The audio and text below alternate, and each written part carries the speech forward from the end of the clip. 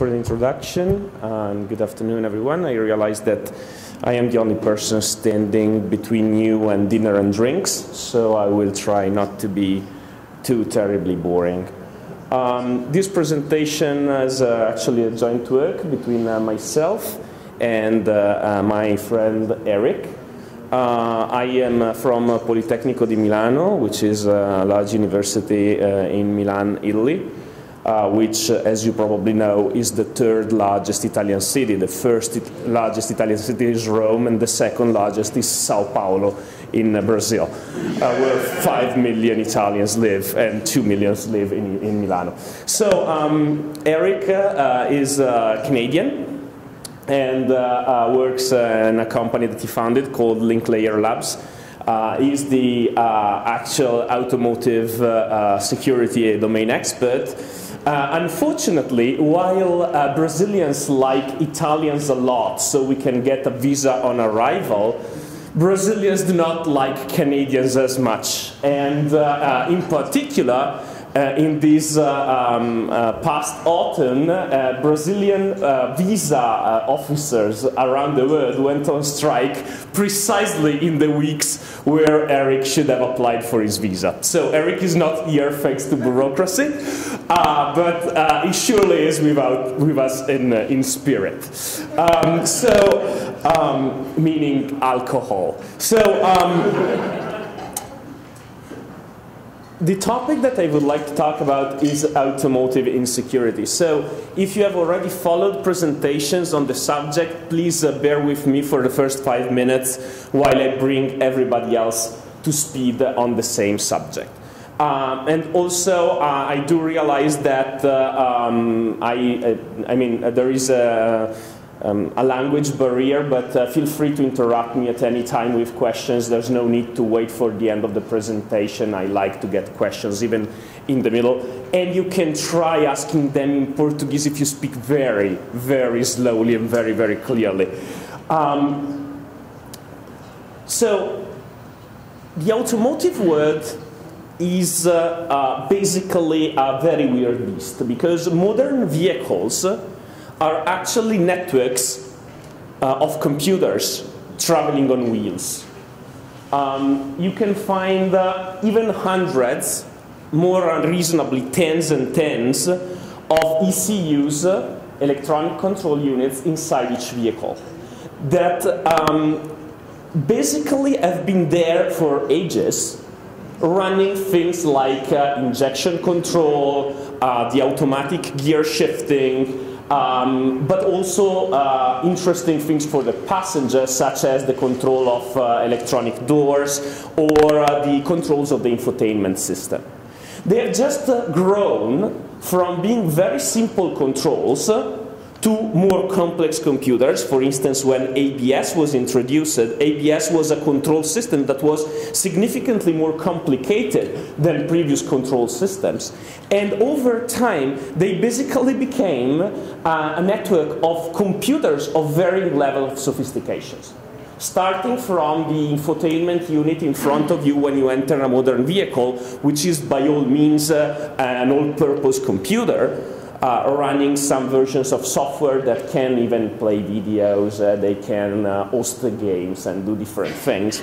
Uh, if you happen to, for instance, board a Tesla, the most prominent feature of a Tesla is an enormous video screen which runs your browser, it allows you to connect to the internet, and so on and so forth.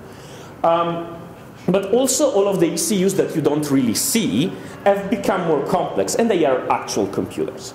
So um, this is uh, interesting because this obviously opens up the question about the security of the automotive network, of the network of these computers that runs through the car. And uh, um, this network uh, can uh, take the form of different types of protocols. You most often will hear me and other people that talk about automotive security talk about CAN, Controller Area Network, which is kind of the dominant standard. So when I'm talking here, sometimes you will hear me talking about CAN, but most of what I say applies also to other standards that are used in automotive. There's another standard called the LIN, there's another standard called Automotive Ethernet Ethernet, uh, which is very similar to the Ethernet that we use in, uh, in offices and buildings. Um, but whatever I'm talking about applies across the different, uh, uh, the different uh, uh networks, unless I say specifically something to the contrary. Um, so actually, what is the most common, the most famous type of cyber attack, of uh, electronic attack against cars? Theft. Most of the modern cars cannot be really stolen unless you bypass a series of security protections. These security protections have been bypassed for ages. We have never thought of that as a cyber attack, but it is actually an electronic digital computer attack. So um, there's videos. If you just uh, um, if you just uh, Google up, uh, I didn't know about the connectivity here, so I didn't put actually the video link in in the slides. But um, if you Google up uh, hacker steal three minutes and you will find a BMW, Audi, it's not necessarily just that brand, see um, um, attackers uh, stealing the cars. There's both demonstrations, uh, such as this one that I'm uh, quoting here, but there's also actual videos taken from surveillance cameras of people breaking into cars and stealing them. So this has been going on for a while we never thought of it as a, as a computer security problem, but it actually is, as I will show uh, later. Uh, then, a few years ago, I was actually lucky enough to catch the very first presentation on this. In 2010, at an um, academic security conference called the IEEE Security and Privacy Symposium that takes place every year. Now it takes place in different places, but it used to take place every year in Oakland, so you will hear computer scientists such as myself call it Oakland for short.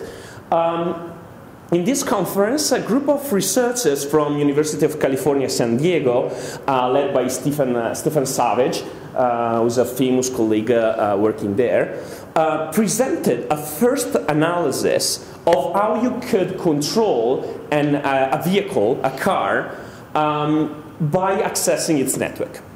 So they basically created this software that they called the Car Shark, like Wireshark, but for cars and uh, showed that if you connected to the CAN, to the network of the vehicle, you could control all sorts of critical, uh, of critical equipment. Why? Because the equipment would believe anything that you told it. Um, so long story short, um, during scientific conferences, it's not as relaxed as hacker conferences. You have people that raise their hand and try to ask difficult questions because they want to uh, verify or to help actually challenge the solidity of what you're presenting. It happens also in hacker conferences sometimes, but we are more relaxed usually. Um, and we also get feedback and critique much better than most academics, by the way. So, um, one of the critiques was, okay, but you demonstrated us that the car can be taken over if somebody connects to the, to the network of the vehicle. That's kind of lame. You should so show us that somebody can do that without actually connecting physically to the network of the vehicle. Lo and behold, in 2011, the same group presented a way to compromise a vehicle by giving the owner an audio CD with an MP3 player track that was malformed and would exploit a vulnerability in the reader, and from there access the CAN and do the same stuff that they had done in 2010. So that was the first uh, original set of papers. You can still find them. The group is called Autosec, and it's autosec.org, like automotive security, autosec.org. You go there, you can download the papers, and they are beautiful papers. Some of the best scientific papers in our field. Um, then, a few years later, uh, a couple of researchers uh, called uh, uh Charlie Miller and Chris Valasek, that I'm sure you know better because they are more from the hacker background, um, on, at different conferences, starting from DEF CON and then uh, at Black Hat in different uh, editions of conferences, replicated first the same type of attacks. And then, uh, last, uh, in the last couple of years, they showed something different. They showed that you could actually do the same thing without ever touching the car, just from remote. Why is this possible? This is possible because on most automotive networks nowadays, there are components that connect remotely. So for instance, if you have a very modern car from Mercedes, uh, you have, uh, the, uh, usually in any vehicle from Mercedes now, you have a button that if you, if you click it, will connect you with a call center, transmitting data from the car to the call center.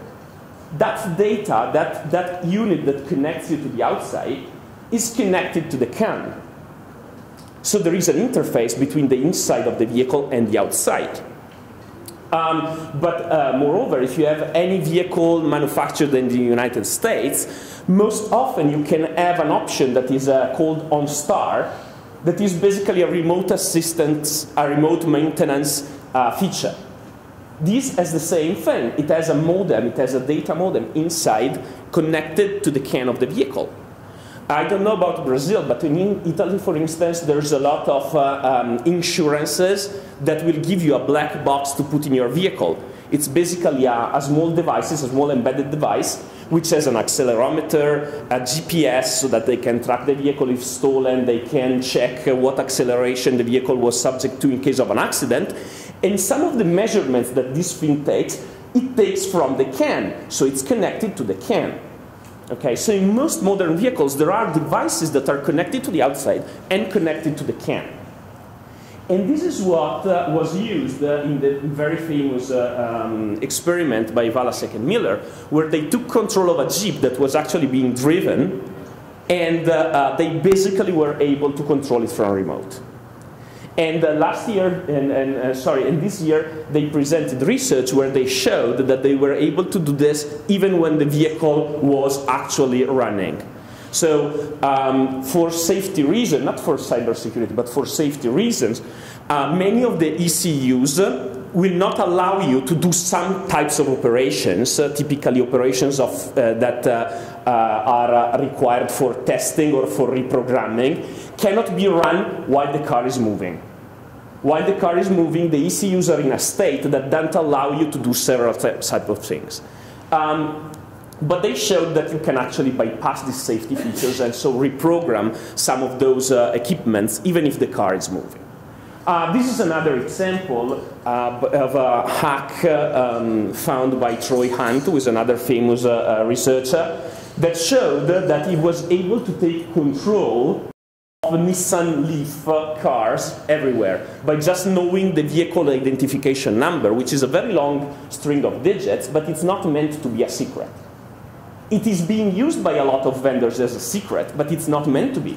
So in some vehicles, this secret appears like printed in the, um, in the window of the car as a, as a mean of identifying the part. So it's, it's not, because it's not meant to be a secret. It's meant to be something that is, I mean, you cannot see a car passing by and guess the VIN. But if you are targeting someone, you can actually find out what that VIN is. So um, basically, what are the attack vectors that I have talked about and that we have seen in the last, in the last five years? Well, we have seen some attacks that require physical access to the networks of the vehicle. And here, let me disabuse you immediately of a misconception. It's not so difficult to access the network of a vehicle. First, you can have scenarios such as the malicious mechanic. Hmm? If you bring the car for maintenance, whoever does maintenance. But you know, does maintenance has a lot of ways to alter your car, which do not entail reprogramming the ECUs. Um, but for instance, whenever you connect an aftermarket part, the black box, the um, insurance black boxes that I was talking about, those are not manufactured by the manufacturer of the car. They are not official parts. You connect them. Nowadays, there's a lot of parts that require you to connect the aftermarket part, something that you bought in a supermarket, to the so-called OBD2 port under the dashboard of the vehicle.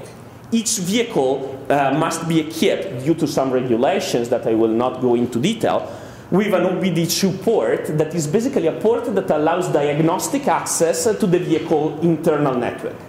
That is required to be there, among other reasons, for competition in order to avoid Mercedes or Audi um, making you go only to a Mercedes shop for maintenance. If you have an, an OBD2 port open, most mechanics can attach an instrument, of course, the instruments that the OEM gives to their own dealers are better, maybe, but they can attach an instrument there and read data from your car. but this means uh, that any aftermarket part that connects there has an unrestricted access to your car's network. Also, uh, in, uh, uh in many ways, uh, um, cars are predicated on the uh, assumption that if you get into the car, if you are inside the vehicle, you are authorized. The security of vehicles start with perimeter security. If you are inside, you are supposed to be authorized. That's why the OBD2 port is really available, because if you are inside, it means that you are authorized. But this is not true. This is not true anymore. Think of car sharing. Think of rentals. It has always not been true, but rentals are a different thing. Car sharing is a much more dynamic uh, episode where you can be almost anonymous in having a car and using it, and you have access to all of these features. Many of those lines, uh, those CAN lines, uh, are physically accessible from the outside. There's one specific type and brand of car, I will not uh, say it aloud because I'm being recorded, but there's one specific type of brand of car, you can Google it up. It's the most stolen car in Europe. And the reason why it's the most stolen car in Europe is that you can break a specific part of the car and access a CAN line behind this part of the car and reprogram the car so that it opens and it starts.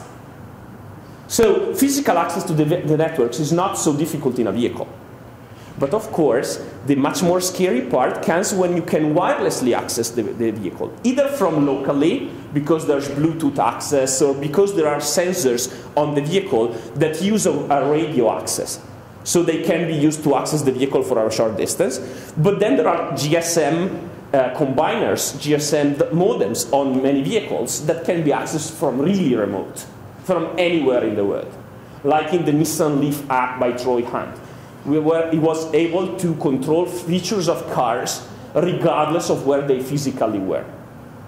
Many cars nowadays have a mobile application that you can install on your phone and even remotely control some parameters of your car. Those applications, how, how do you think those applications work? The cars are connected to the internet in some way or another, right? You had a question?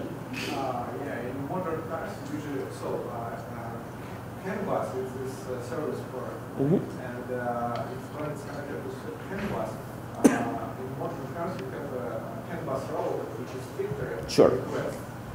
And uh, you actually can connect to, uh, just like directly, you can connect, as example, to the brakes controller. I will get to that.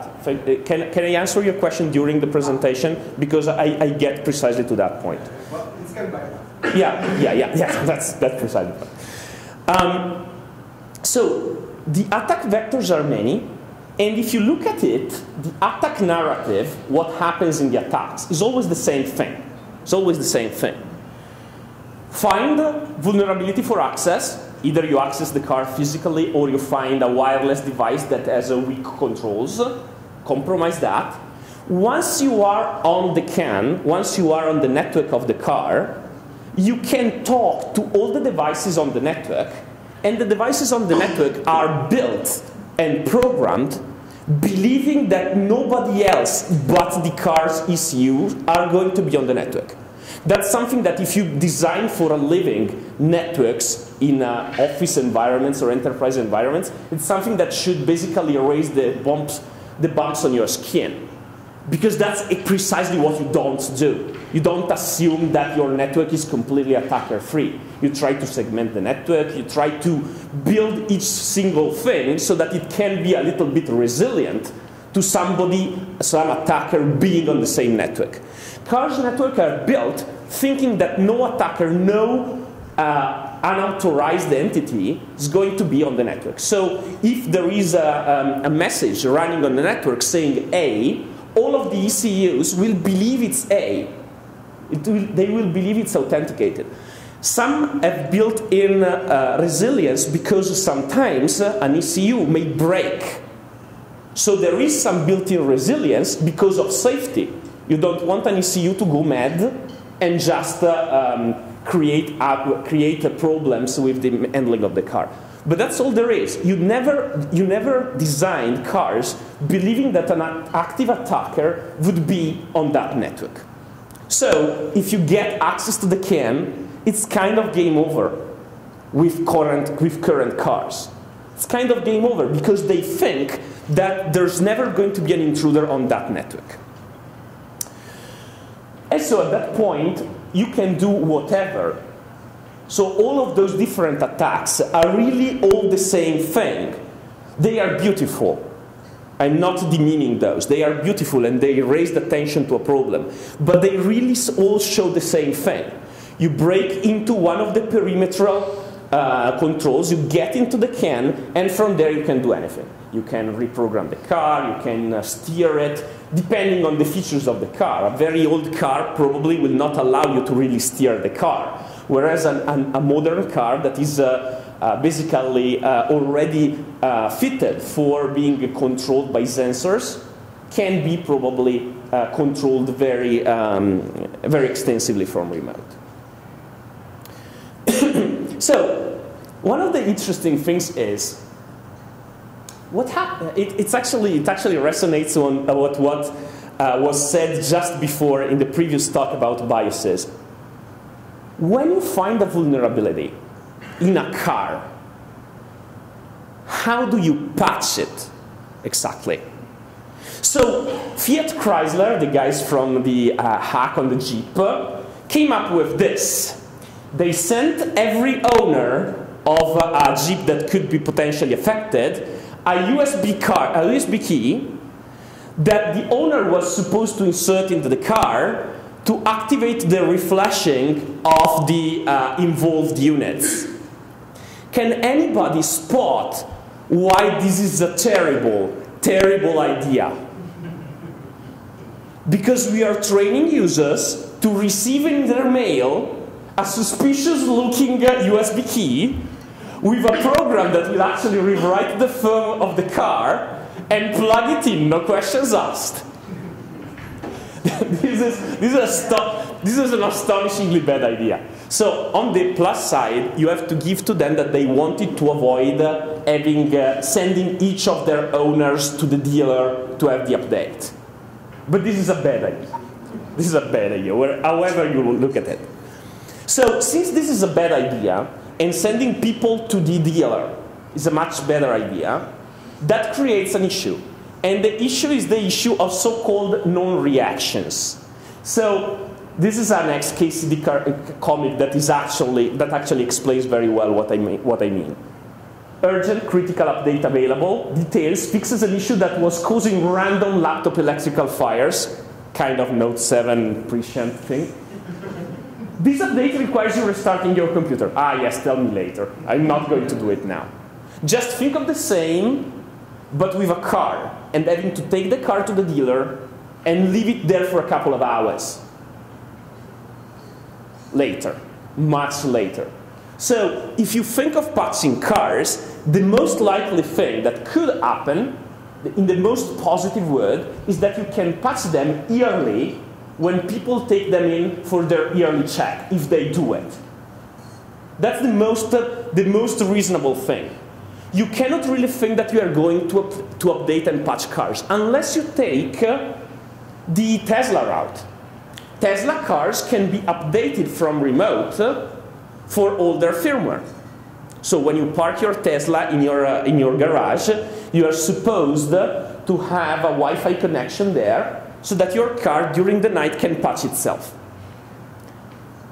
That's not the future that I wanted to live in, but still, uh, that's, that's much better than not being able to patch anything. Except for the fact that this obviously means that there is a component on the Tesla network inside the car that can reach all of the ECUs and patch all of those. So I really sincerely hope that they designed that very well. And the result that you get if you cannot patch things is what we have observed yesterday. Thank you, whoever you are um, for this example. With the Internet of Toasters, IoT, um, bombarding sites with a denial of service. Why? Because taking control of these devices is easy, patching them is very hard. I don't want to be there to witness a botnet of cars doing this. So, in summary, what we can, what, what we have uh, shown until here is we cannot rely on patching the single vulnerabilities because A, we will be at that for ages. If we wait for each single hacker in the go, go home, dismantle their car, you will find a vulnerability. It will take time, it will take uh, effort, you will probably not do that. But in general, all of those cars, all of those automotive networks are very vulnerable. They are relatively easy to exploit. Once again, not diminishing the technical skills of those that have shown the exploits. But if we go ahead, we can exploit those vulnerabilities one at a time for a very long time. That's not the way we fix the problem. Also because we cannot patch the cars, really. But security engineering does not start from getting the single vulnerabilities. That's the end. Security engineering does not start with um, bug bounties. It starts from security design, goes on with security in the development, and then the bug bounty or the penetration test is kind of the last thing, the thing that helps you fill in the holes that, have, that are left. But if everything is a hole, starting from the penetration test is not a very good idea. In particular, if those holes you cannot really fill. So we don't need a way to design invulnerable networks because this would basically mean picking up all that has been done until now, throwing it away and starting from scratch. In the automotive industry, this is never going to happen. The automotive industry does not redesign anything from scratch. Each model is designed based on the knowledge and based on the previous platforms that are updated, they add an ECU, they modify some code, but they start from designs that they already have. So what we need to do is figure out a way to model the risk, understand which are the components on those networks that need to be fixed, and give to the automotive industry the specifications, the blueprint on how to do the same things uh, not securely, because security is not a state that can be attained. You cannot make a network secure, you cannot make a computer secure. You want to make it secure enough against the specific types of attacks and threat vectors that create risk. And you need to be able to assess the risk. so basically, what we wanted to do was create a risk, a risk assessment process that we could teach automotive designers in order to make them more security aware because these people are not cybersecurity experts. There's a handful of people in the world, I can name them and I have them on speed dial in my phone, that can understand both cybersecurity in depth and automotive in depth. Most of the people that have hacked cars are not automotive experts. So there are some things here and there that uh, they lack in their understanding. They understood them over time because they studied it. On the other hand, the people that are going to be responsible for implementing this are never going to be us. Automotive industry will not hire one of us to do security of their vehicles. What they want to do is to create awareness of these security issues in their designers. And so we needed to figure out a way to give these designers a, a chance to understand these security issues. Um, and in particular, we wanted to create a tool that could support this design. So the intuition from which we started is this. Usually, when you do risk assessments in enterprise environments, you do them on a very large scale because an enterprise is a very complex thing you have many types of risk to entail. Human risk, there's all sorts of things that you need to take into account. So this means that there are no real good risk assessment software. You cannot really build a risk assessment software. There are some, but they are basically little more than databases for you to fill in. But an, a car is a specific environment. It's much smaller than an enterprise. And in reality, it's almost always the same thing. It has four wheels, it has an engine. Sometimes it costs more, sometimes it costs less. But more or less, the problem is constrained from a computer scientist point of view. Then automotive engineers spend their lives in creating cars that are better and nicer and faster. But from a computer security point of view, this is not an enormously difficult problem. And actually, most of the risks can be mapped on the topology of the network because those networks have a fixed topology that more or less always similar. Uh, let me show you uh, how uh, we did this uh, going through a process where we started from the uh, analyzing the assets, getting to the threats, creating what we know attack trees, but the, for the uh, automotive industry, this is not a model that is particularly in use and map them on what they can understand. I, I will go through these step by step so I don't spend and waste time on this slide. So the first step for any security uh, risk assessment, what is it? It's the asset definition. You figure out what are the important things that you want to protect. And really, if you're looking at cars, there's four things. It's always the same four things. There's the safety of, of the operations of the car. There's the value of the car, the vehicle itself. There's the possibility of having private information, such as the location of the vehicle or where the vehicle traveled, leak.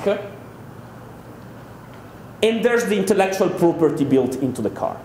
Those are the four assets that for an OEM, for a manufacturer of cars, are important.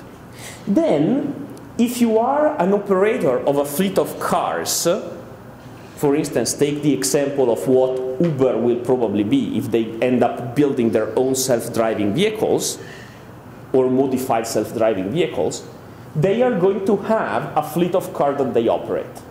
So for them, the risk equation is different.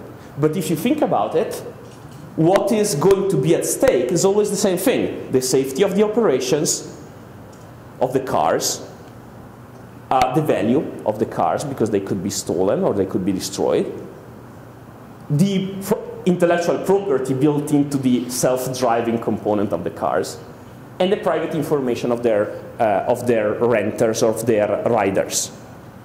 So if you think about it, any scenario that you can, can, you can build with attacking a car ends up in these four parts. Then there's a lot of other things. So for instance, if you are an OEM, one of the things you care about is the brand. When Fiat Chrysler had that issue, their brand took a hit, obviously. Was it a very severe hit? Not really. If you look at, uh, the, um, at their um, trading, on the stock trading, um, it was not very severe. But that, that's something that, uh, that an OEM carry, you know, cares about. My cars explode. That's, that's a very significant threat. But a brand can be impacted only as a result of these four things. Because the cars are unsafe, because the cars can be stolen, because the cars leak private information. There's no other way that the car security can impact the brand. So if you're looking at car security, those four things are the only four things that you care about. Now compare this with risk assessment in an enterprise. In an enterprise, there's gazillions of things that you can care about, gazillions of things that you need to protect. This is much simpler. So let's move to the other component of risk, threat. Who is uh, targeting these cars? Well, there's a set of examples there. Hackers, researchers, the Charlie, the Charlie Millers of, uh, of the world. There's the thieves. Uh, there's tuners, the people that modify the performances of cars. They are interested in accessing in an illegal way, not illegal in the sense of a law, but illegal in the sense of not allowed by policy of the, of the OEM, the uh, entities on the CAN. Um, we could have in the future ransomware for cars for instance. Why not? If now you, they lock your phone to try to extort your ransom, why not locking up your car? 100 euros for unlocking or uh, $100 for unlocking your car instead of having to wait for the dealer to come and reflash it. Ah, a lot of people are going to pay for that. So if this, if this happens, it's not going to be me, but you can thank me for having told you in advance. Um, your competitors may be willing to attack your vehicle network to extract uh, IP from it. Um, or there can be targeted attacks. All of the scenarios where there's somebody like uh, um, 007 wanting to kill somebody, yeah, all those scenarios can happen, of course. Now, what we do usually when we do risk assessment in the uh, IT world is we try to rank these, uh, um, these threats, right? So help me rank these threats. Which is the, in your, just focus on these. There may be others, but focus on this. Which is the most common, the most likely to happen? It's actually very easy. I told you already. The second, like theft. Theft is the most common one, the one that we also know most about, because all of us, when our car is stolen, we go to the police and say that it has been stolen. Insurances have historical data of stealing of cars ranking back in generations. So that's the most common one. If you had to choose uh, another one, the second most common, much, much less common than theft, but the second most common, which one would it be? Anybody? Oh, come on. I didn't hear you. Try that again, louder. Target, uh, in my point of view, the first place for me uh, is Gucci, and the second place is Target attacks. Okay. And third place is I think, I think we are, I think we, we may have a, a misaligned definition. So I'm not asking which are the most dangerous.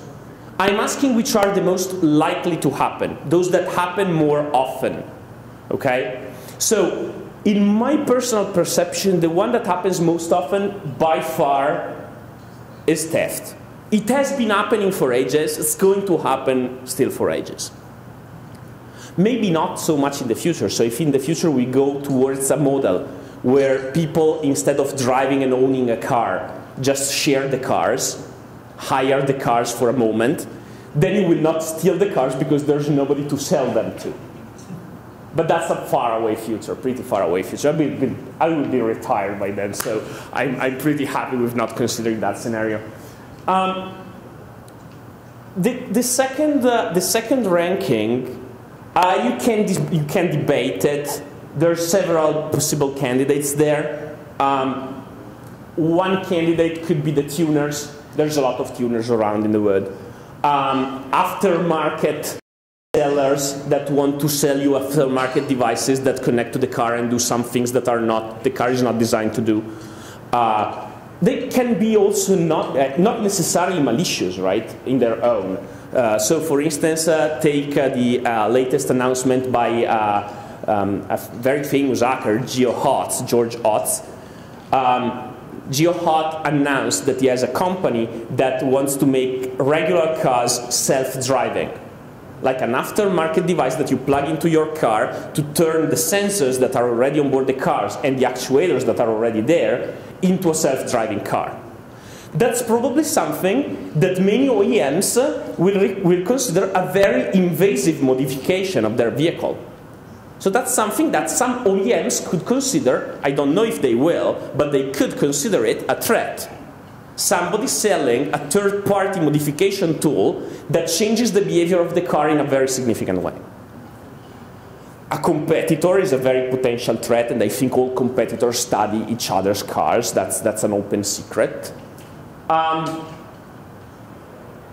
researchers are a very likely threat in many ways for cars right now in particular. So really, the actual cybercrime, non-theft cybercrime, is pretty low in the list, in my list, in my perception. I may be wrong, you may correct me, but in my list it's pretty low. And even lower there's targeted attacks. Is this always true? Not really. If you are, for instance, uh, I don't know, Ferrari or uh, Maserati, one high-end luxury car, you may have a division that creates cars for, for instance, chiefs of state, or you may be a vendor that uh, sells some types of vehicles to the military. In those cases, those priorities may be shifted. But for a general non-luxury car, this is more or less a reasonable ranking. Right now, tomorrow it could be different. This is an issue because if uh, tomorrow, for instance, ransomware becomes very, very likely, then our priorities in designing secure cars shift. And the issue is, what do I do if these shift? How can I change the behavior of the vehicles that are already there in order to handle this threat? So you see that we need a very good way to document these choices, these design choices, and to be able to simulate what happens if one of these design choices changes. Let's take the basic example, theft. Why am I taking it? Because it's A, the most likely thing to happen. It's something that we all understand. We don't even need to go in depth into difficult um, analysis of the car. And uh, um, it's also going to be kind of the worry of most major manufacturers. If we go to talk to them about the security of their electronics, that's kind of the first thing, because that's one of the things that they already care about, even before all of this hacking started. So, what are the goals of an attacker that is trying to steal a vehicle? Well, this is also easy. Most of the attackers that I have shown have more complicated uh, scenarios that they can play. But a thief wants to do only one thing. They want to steal a vehicle. So we can actually build what uh, we call an attack tree, and you have seen them because those are, are a very normal model for us to think about security, but they are not normal for the security, for the car industry. They use safety trees which are very different. Because in a safety tree, which is the type of tree that you use in mechanical engineering, for instance, for uh, analyzing the possible impact of defects uh, or of breakage, there is a very important assumption. Things break randomly. In attacks, things do not break randomly. There's somebody actively trying to find the best possible way, the best possible combination of things to break. So attack trees are very different, and they are used in a different way. The automotive industry is not used to, to reason like this. So for theft, and this is a simplified version of an attack tree for theft, it's just for this example in, in, in this conference. But for theft, you have different ways to steal a car. Well, of course, you can physically steal it. You just grab it and take it away. That's, that's one way to steal a car. But if you want to steal it electronically, there's basically two big areas that you can go and target. One area is uh, trying to replicate the signal of the key. That's one area. The other area is trying to make the car start even if the key says that it should not start. So, the two, uh, it's these two possibilities that I see over there. Activating ignition on the one side, so turning the key, even if you don't have the key, or generating traction, making the car move even if the, even the uh, ignition is not activ activated. In order to activate ignition, you need to do two things basically on most modern cars. Those two things are you need to um, make the so-called immobilizer say it's okay to run the car. The immobilizer is an electronic device that basically uh, reads a signal of some sort generated electronically from the car key in order to avoid you mechanically, if you still have a car with a mechanical key, mechanically making the car start. Okay? So you need to generate the immobilization signal, and you need to create the signal that says to the engine, start. So generating the run command is one part, and you also need to generate the, the immobilization signal, which you can obtain in two different ways. You can either tell the immobilizer ECU, okay, there's the immobilizer key near you, start, or you can generate on the CAN, generate on the network of the vehicle, a fake message that says, I'm the immobilizer, everything's good, you can start. Okay, there's these two approaches. You can go the other way around, and in order to make the car start, even if there's no key, you need to do two things. Create torque, make the engine actually spin the wheels, and shift the gear from park to drive. In order to provide torque, there is a, specific ECU that is going to that is actually going to activate the engine for you. So you can just control that ECU. This tree could be much broader because you can do this in other ways. I'm just, I'm just giving you a demonstration of the fact that there are different paths to get to the same goal. Okay? Now, a network of a, um, of a modern vehicle, this is a 2010 vehicle that I will not name because I don't have the permission to name what it is, and it's uh, sufficiently anonymized that, it's, uh, that it doesn't really look uh, uh recognizable. Oh, by the way, uh, all of the things that I'm showing, the graphs, are not generated just for this presentation. They come out of the tool that we are building. Um, so this is a vehicle uh, represented uh, along the different portions of the CAN network and the different entities that are connected to those portions. So all of those ECUs are the same ECUs that are involved in this attack tree. So we can basically map what the attacker needs to do onto the CAN. So this is the attack tree, that's the CAN. So for instance, if we want to go and proceed by activating ignition, we need to do both of the things that are down here. Either of those goals, generate the immobilization signal and generate the run command, can be obtained, well, generate the run command by sending the run command, so by controlling the PCM. Uh, the immobilization signal can be sent either by controlling the uh, immobilizer or by transmitting the immobilizer go signal on the CAN. So either you control, let me put those in evidence, either, so you need to control this. You need to control this in order to obtain this goal. Plus, you can either control the immobilizer or just control the CAN, control CAN C, because if you control CAN C, this is the immobilizer, if you are here, you can just say, hey, I'm the immobilizer, start. Okay, so you have two different ways to do this. Either you control those two components, or you can control these two components. Either of these is going to uh, satisfy your, um, your need for a new vehicle. Or alternatively, you can go down the other, uh, the other uh, part of the tree. So you, can, you want to provide traction, you want to provide torque and shift the gear. In order to, to create the torque, you need to control the PCM. In order to shift the gear, you can either uh, use the TCM and uh, basically enter the drive gear as if it was selected by the drive gear, or you can request the change, which is what the TCM is going to do. You can do that by controlling the other ECU that is physically controlling the, uh, the gear.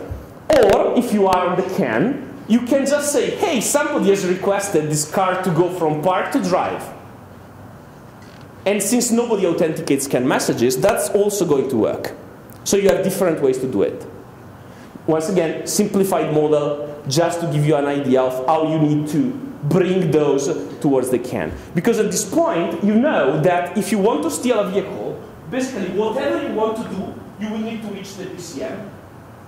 And then, one of the best ways that you can steal a vehicle, according to this very simple analysis that we run together, is by controlling the CAN C. If you can control the CAN C, in general, you can bypass anything else that is controlling the vehicle. Be honest, in order to steal a vehicle of this type, you need to have those two things that are in the brighter red over there. If you are controlling those, you can have the vehicle. Now the question is, you are outside the vehicle. how do you get inside the vehicle? All of these uh, pinkish components that you see here are interfaces that are outside the vehicle. This CAN network is actually pretty much embedded inside the vehicle. The attacker can reach all of the other points. So if you are an attacker, an example vector of ingress is this one. This connector that you see here is the OBD2 port. It's not really the OBD2 port, but it's connected behind the OBD2 port. And it's connected to the TIPM, which is the module that on this specific type of vehicles controls basically everything that gets transmitted between the OBD2 port and the internal part of the CAN. It's the gateway that you were referring to earlier. So this gateway needs to be designed securely. Everybody knows that already. But after this analysis, I can tell to the designer of this gateway precisely which things this gateway should not allow to flow between here and there. I can also tell the designer, for instance, if he's designing an intrusion detection system for the CAN, which is something that most uh, automotives are starting to think to put in there, but they don't know which uh, attacks or which types of messages they need to be scared about. Now we know which messages somebody trying to steal the vehicle is going to generate. If we replicate this analysis for all of the scenarios, we can generate A, the specifications for the most important pieces of that network, B, the intrusion detection rules that can be applied on the different portions of the CAN, and C, which is very important, if you are a conscientious uh, OEM, and after you have designed your network, you run a penetration test on it, you don't give a penetration tester just the device, like the TIPM, and say, test it. Because then the um, penetration tester does not know which objective they need to achieve. They will come back to you with a lot of things that they found, but they are not necessarily the things that you care about. Instead, by plotting this, you can tell the penetration tester what I want you to do is try to make this TIPM generate specifically this list of messages. This TIPM should never go into this condition and that's a much more targeted, a more effective way to test the device. Um, this actually responds uh, to um, a standard that has been recently uh, released.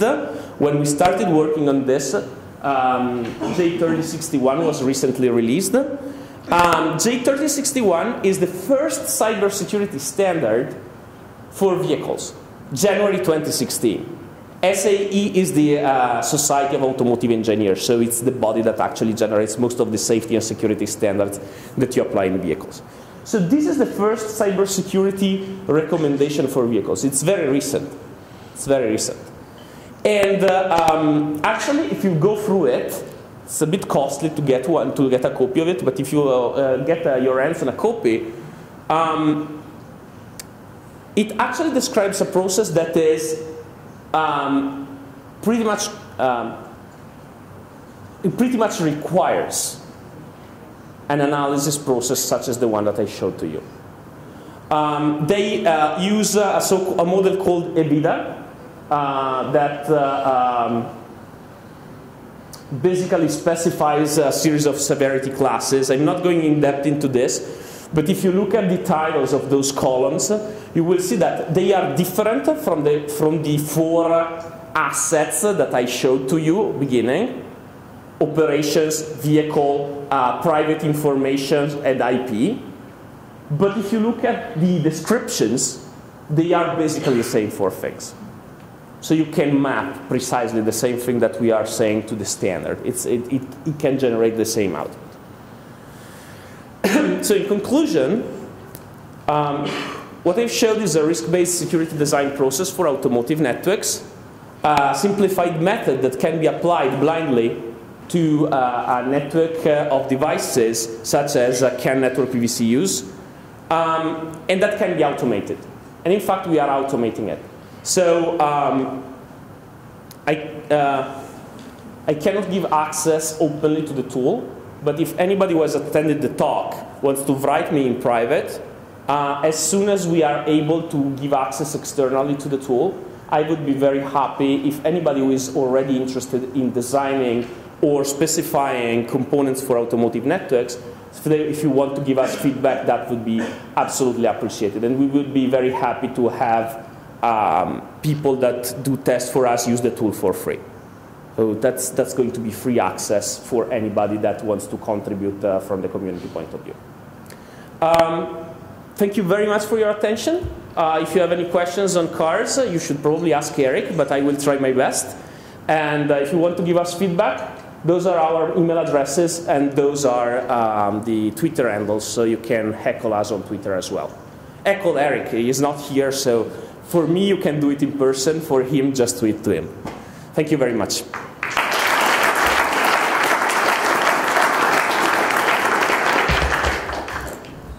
Questions?